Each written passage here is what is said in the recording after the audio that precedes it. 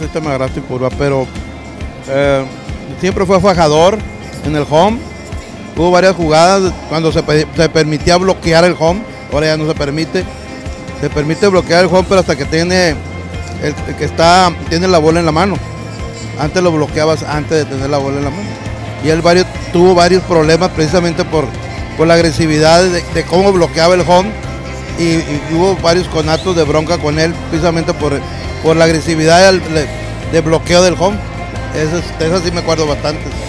Pues eh, fue una etapa, una época en la cual Culiacán tuvo mucho tiempo eh, eh, faltante en un catcher, no tenía catcher bueno.